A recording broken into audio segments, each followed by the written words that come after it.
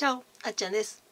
え今日寒いね。ってことでねちょっとねあのお昼ご飯なんかねあのシエスタしたら寒くなってきて、うん、ちょっとね体温めるのに、うん、ホットのスープ飲みます。これカルディで売ってたパクチースープ。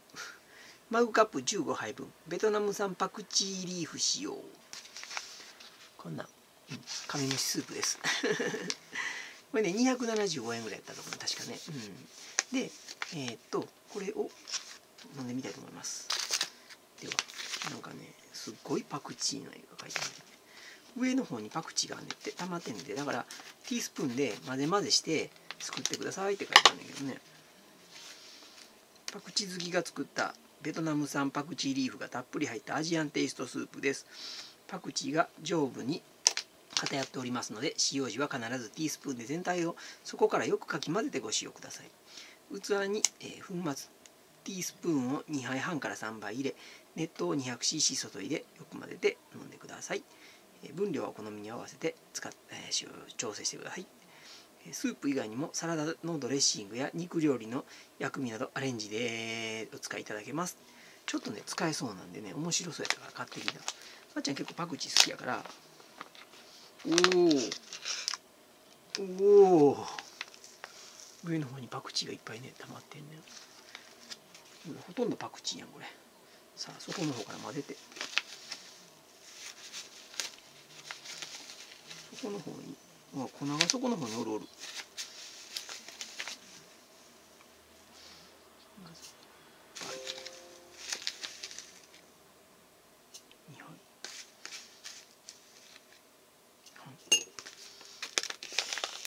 ちょっとこれで飲んでみたいと思います、うん、でねどんなもんかな。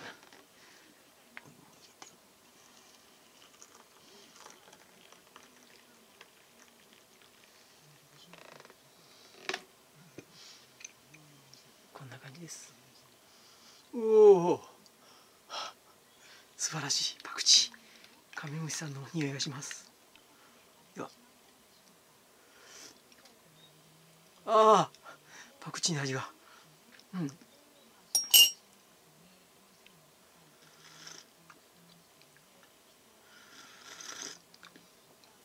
うん。すっごいパクチー臭がする。あのほんまにパクチーの好きな人にはおすすめです。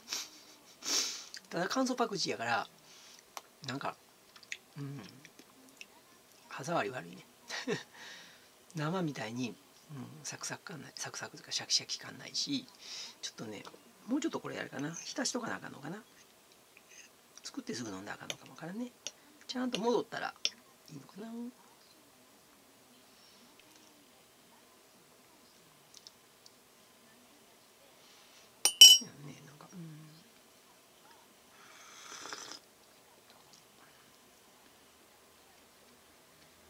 うんうん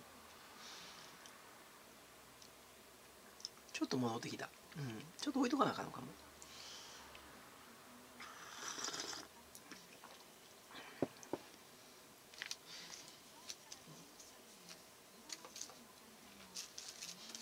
ね昼ご飯食べてね。シエスタ前に書いたんよ。あの問診票。これね、うん、1時間ぐらいかかった。いろいろと、うん、あの聞かれてね。はい。なかなか答えにくい質問とか。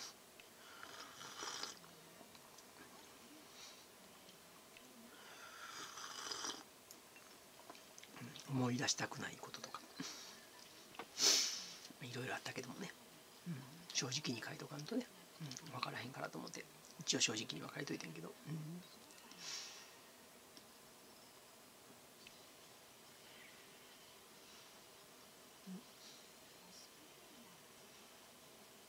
鶴見緑地公園でコスプレイヤーが集まってんねって。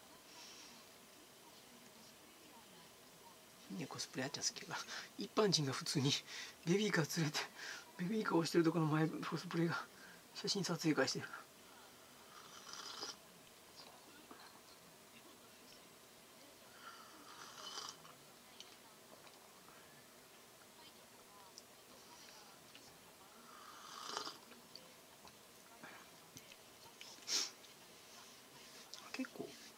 ちゃんと年変わらんぐらいの人もいてる。楽しそうやな。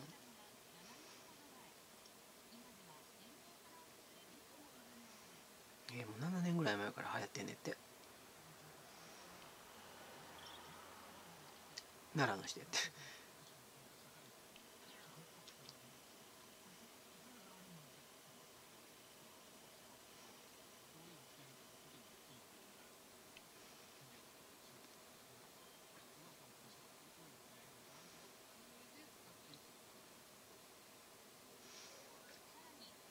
普通に男奈良の男の人やねんけど、うん、女性コスのコスプレイヤーの格好してんねんて。でやっぱ普段、うん、こういうことをしてたらあの変な目で見られるけどってここやったらみんなそういう人が集まってるから言って。なんか夫婦で、うん、旦那が趣味で三重県から来て旦那が趣味で一緒にやって一緒に来てるってやってる。普段地味でスカートも履かないですね結構うん結構ね年いってある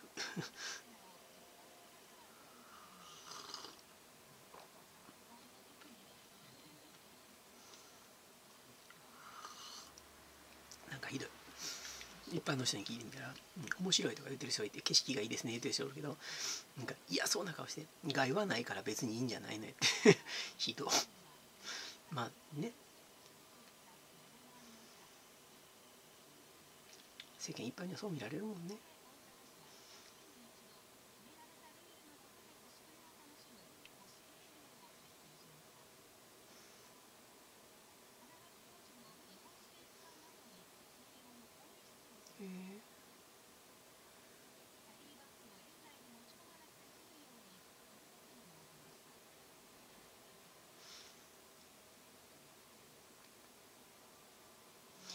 えー、いいな。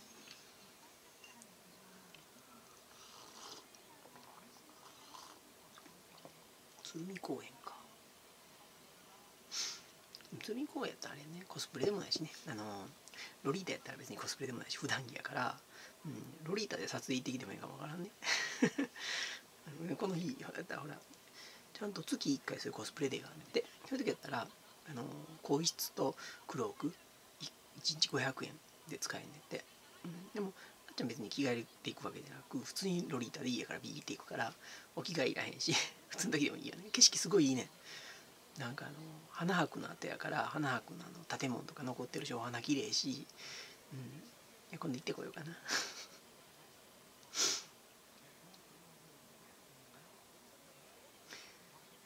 今一回ね法隆寺ロリータで行ってんけどね、うん、楽しかったよ、法隆寺にロリータはすっごい場違いな気もしたけどもね、うん、でも修学旅行の子が来てて「かわいい」とか「一緒に写真撮ってください」とか言われてさ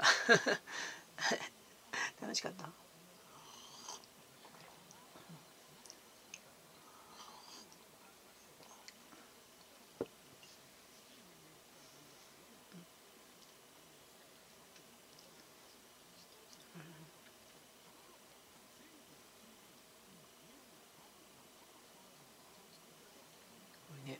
楽しそう まあえーとね、パクチースープで体温まったしまだもうちょっとあんねんけども飲みながら、えー、この後動画編集していきたいと思います。はい、今日はね、あのー、朝からお出かけせえへんかったからお昼からはね、あのー、道の駅行っても多分お野菜ないから行く予定なくなっちゃったし、えーね、図書館も道の駅行くついでに行く思ってるからまだ今日じゃないしで別にお買い物行くこともないからうんはい今日は出ていきません。あとはねゆっくり動画編集してえー、っとあもう何時間ぐらいかかるかな。子供ちゃん帰ってくるしね。また晩ご飯作らなあかんしって感じでバタバタとした月曜日を終わりそうな気がします。はい、って感じで、えー、今日はこんな感じでえー、とゆっくりしたいと思います。はい、で明日。明日でこの動画が上がってる時にはえー、っと天気次第やねんけど三輪神社へおそらく行くでしょう。行ってるでしょう。はい。ということでねお昼ご飯どこで食べようかなとかね、えー、お弁当作っていこうかなとかね、うん、車中飯にしようかなとかね、えー、いろいろ考えてんねんけど、まあ、それは明日の動画のお楽しみっていうことで。明日は三輪神社行ってきます。さあどんなお洋服着ていこうかな。でももう寒いからね。ああっちゃん持ってるねフリフリ系なワンピってみんなね夏物ばっかりな冬物ってあんまりねフリってしたのが持ってないのよ。まあロリータやったら今着てもいいねんけど半袖やから上なんか長袖羽織ってもいいねんけどあんまりね岩神社でロリータは派手すぎるかなと。いいねんけどさ別にあっちゃんどうでもいいねんけど。うん。結構もうねあのロリータは慣れた。なんとも思わんくなってきたけどね。ただ綺麗な景色のとこで撮影したいなと思うしロリータで行く時って誰かねカメラ持ってくれる人だったら嬉しいねんけどね。なあちゃん一人で行ったらこうこうやって撮らんなんから全身撮れへんし、うん。ねうん、もうほんと楽しいよ、うん、ああいう格好するとね。っていうことでねまあそんなことはどうでもいいんだけどね,、うん、ねだけどね。えっ、と、うん。今月もねお出かけしていきたいと思います。ただね今月先月病院代で結構かかっちゃって今月もね、あのまあ、大阪のね病院とあと奈良の病院何軒か行かなあかんのホルモンの方もちょっと行かなあかんねんけどそんなんでいくらかかるかからへんからね今月またねお出かけ用の予算が取れへんかもわからんねん。だから近場お金のかからへんとこちょろっと行ったりとか安いねあのワンコインランチとかその程度でえー、お出かけするぐらいしかできへんねんけどもね。頑張ります、はい、ネット通販頑張って。またね、うん、あの予算ができたらいろんなところ楽しみたいと思います、うん、先月さ思った以上にさ月末さ余ったんよ。これ来月余ったし行けるわと思ったらバタバタって病院代で一気に行っちゃった。3万いくらかかったもん病院。もう嫌になるよ。まあねでもあのねあのピロリン直しとかなピロリンねもうあの体から出ていってもらわんとあかんからね、はい、で次回ピロリンの検査がね12月ぐらいに予定やからね1ヶ月先やから、まあ、そこまでねまた11月の予算が終わったら12月の予算の方でなんとか組めるからね。っていう感じでなんとかなりそうですけどもって感じで。ただね。まあなんとかなるか。まあいいやどうでもいいや。はい。ということで、えー、今日はこの後動画編集していきたいと思います。ではまたね。バイバイ